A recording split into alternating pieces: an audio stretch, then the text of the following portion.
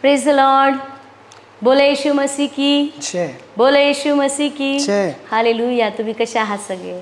आशीर्वादित आहात. ज्या ठिकाणातून ज्या शहरातून ज्या गावांमधून तुम्ही आम्हाला ऐकत आहात पाहत आहात देवबाप तुम्हाला आशीर्वादित करो. देवबाप तुमच्या प्रार्थना ऐको खूप साऱ्या प्रे रिक्वेस्ट येत आहेत. खूप साऱ्या टेस्टमनी आमच्यापर्यंत पोहोचत आहेत. आणि खरोखर देवबाप तुम्हाला आशीर्वादित करो. ह्या वचनाद्वारे देव तुमची भेट घेणार. Praise Lord Hallelujah. कारण बायबलमध्ये लिहिलेलं आहे जर आपण प्रेषितांचे कृत्य पहिला अध्याय आणि आठवं वचन आपण काढूया. वाचा. पण पवित्र आत्मा तुम्हावर येईल तेव्हा तुम्हाला सामर्थ्य मिळेल. आणि यरुश्लेमेत व सर्व यहुदियात व शमरोनात व पृथ्वीच्या शेवटापर्यंत तुम्ही माझे साक्षी व्हाल. आमेन बायबलमध्ये लिहिले की पवित्र आत्मा तुम्हावर येईल आणि तुम्हाला सामर्थ्य. मिळेल. Press Lord Hallelujah. मी तुम्हाला सांगेल बऱ्याचदा काय होतं की काही लोक स्वतःच्या ताकदीवरती जगत आहेत शक्तीवरती जगत आहेत पण मी तुम्हाला सांगेल ज्यावेळेस तुम्ही आत्म्याची मदत घ्याल ज्यावेळेस पवित्र आत्मा तुम्हाला गाईड करेल जेव्हा पवित्र आत्मा तुम्हाला शिकवेल त्यावेळेस तुम्हाला खूप साऱ्या गोष्टी सोप्या जातील. प्रेस लॉन तो तुम्हाला सामर्थ्य मिळवून देईल. बऱ्याचदा काय होतं जर आपण वाचलं बायबलमध्ये रूम करास आठवा अध्याय आणि सव्वीसावं वचन. त्याप्रमाणेच आत्माही आपल्या अशक्तपणात आपल्याला हातभार लावतो कारण आपण प्रार्थना कशी करावी हे आपल्याला ठाऊक नाही. परंतु आत्मा स्वतः अनि अनिर्वाच्य कन्यानी आपल्यासाठी मध्यस्थी करतो. आमेन. आत्मा आपल्या अशक्तपणामध्ये आपल्याला हातभार लावतो. प्रेज लॉन बऱ्याचदा काय होतं की जर आपण आत्म्याने भरलेलो नसेल देवाचा आत्मा आपल्यामध्ये आपण पवित्र आत्म्याने भरलेलो नसेल किंवा देवाच्या उपस्थित कसं जगायचं किंवा अन्य भाषेमध्ये प्रार्थना कशी करायची हे जर आपल्याला माहीत नसेल तर थोडं आपल्याला स्ट्रगल करावं लागतं. पण ज्यावेळेस योग्य प्रार्थना राईट प्रार्थना तुमची स्वतःची तुमच्या फॅमिलीची तुमच्या कुटुंबाविषयी प्रार्थना काय करायची कशी करायची हे आत्म्याला आत्म्याच्या गोष्टी कळतात. प्रेस लॉट जो आपल्यामध्ये पवित्र आत्मा परमेश्वराने विसार म्हणून दिला आहे जो पवित्र आत्मा आपल्यामध्ये राहतो त्या आत्म्याला परमेश्वराच्या आत्म्याच्या गोष्टी करतात की नाही? आणि म्हणून जर तुमची इच्छा आहे की राईट योग्य अशी प्रार्थना परमेश्वरासमोर माझी सादर व्हावी तर बायबलमध्ये लिहिले की पवित्र आत्मा तुमच्या अशक्तपणामध्ये तो तुम्हाला हातभार लावेल. तुमची इच्छा आत्म्याने प्रार्थना करायची. प्रेझ लॉ मग तो पवित्र आत्मा आपल्याला कसा हातभार लावेल? ज्यावेळेस तुम्ही अन्य भाषेमध्ये बोलता. प्रेस लॉर्ड अन्य भाषेमध्ये काही लोक म्हणतात की पण अन्य भाषेमध्ये बोलणं म्हणजे काय? आहे मला तर ही भाषा कळत नाही. कारण ही भाषा तुम्हाला कळणारी नाही. कारण ही भाषा परमेश्वराची भाषा आहे. ही देवाची भाषा आहे. अन्य भाषा ही. आणि ही भाषा त्याला कळते. आत्म्याला आत्म्याची भाषा समजते. आणि त्याला माहिती आहे की तुमची उद्याची काय गरज आहे? तुमच्या भविष्याची काय गरज आहे? तुम्हाला काय हवं आहे किंवा तुमच्या फ्युचरसाठी तुमच्यासाठी काय प्रार्थना केली पाहिजे? तुम्ही फक्त भोवतालची परिस्थिती बघून तुमच्या डोळ्याला काय दिसतंय किंवा तुमच्या कानाला काय ऐकायला येतं हे फक्त बघून आणि ऐकून तुम्ही प्रार्थना करू शकता. पण पवित्र आत्म्याला पुढचं सगळं भविष्य दिसत आहे ना? पुढच्या सगळ्या गोष्टी आत्म्याला दिसतात. आणि म्हणून आत्म्याने प्रार्थना करणं हे प्रचंड गरजेचं आहे. आणि आत्म्याने म्हणजे अन्य भाषेमध्ये प्रार्थना करणे. आणि पवित्र आत्मा आपल्या अशक्तपणामध्ये काय करेल? हातभार लावेल. पुढे वाचूया. परत हे वचन त्याप्रमाणेच आत्माही आपल्या अशक्तपणात आपल्याला हातभार लावतो कारण आपण प्रार्थना कशी करावी हे आपल्याला ठाऊक नाही परंतु आत्मा स्वतः अनिर्वाच्य कन्याने आपल्यासाठी मध्यस्थी करतो. अनिर्वाच्य कन्याने आपल्यासाठी मध्यस्थी करतो. प्रेज लॉर्ड आपल्यासाठी मध्यस्थी करणारा पाहिजे की नाही? मध्यस्थी कोण करत असतो? वकील. तर आपल्यासाठी वकील कोण आहे? पवित्र आत्मा आहे. प्रभू येशू आहे. तो आपला वकील आहे. तो आपल्या मध्यस्थी आहे. आणि तो प्रत्येक वेळेस परमेश्वरासमोर आपली बाजू मांडेल. की बघ प्रभू म्हणून तर काय लिहिलं आहे की तो तुमच्या अशक्तपणामध्ये तो तुम्हाला हातभार लावेल.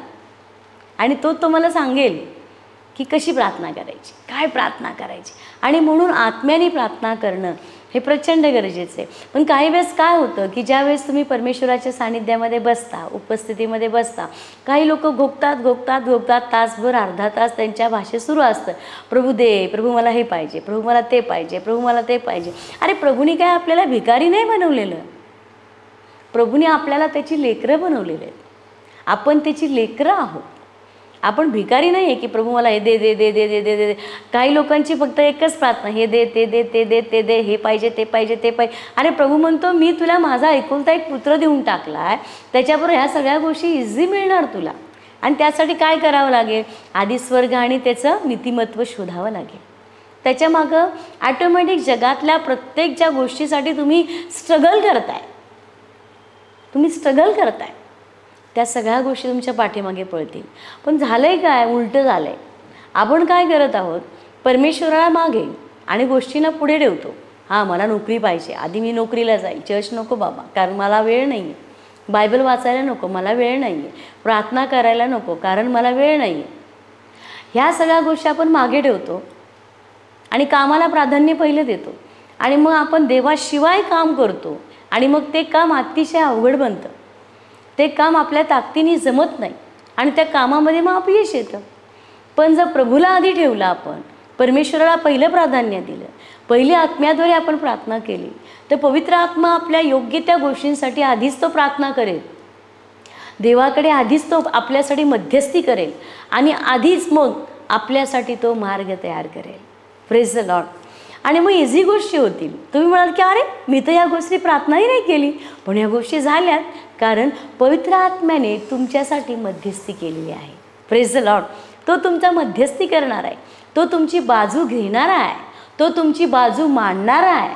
प्रेज लॉर्ड आणि म्हणून आत्म्याने प्रार्थना करणं हे प्रचंड गरजेचं आहे. कारण अजून एक वचन. रोम करास आठवा अध्याय तेरा वचनाचा रोम करास आठ तेरा. कारण जर तुम्ही देहाप्रमाणे जगता तर तुम्ही मरणारच. पण जर तुम्ही आत्म्याने शरीराची कर्मे ठार मारता तर तुम्ही जिवंत राहाल. आत्म्याने जर तुम्ही शरीराची कामं ठार मारता. तर तुम्ही जगाल. प्रेज द लॉर्ड आत्म्याने जगायचं. आत्मा जर तुम्ही देहात जगला कठीण आहे जगणं. काळजी. देहामध्ये काय आहे? चिंता आहे. काळजी आहे. उद्याविषयी आहे. हे काय? ते काय? पण आत्म्याला काय घेणं नसतं.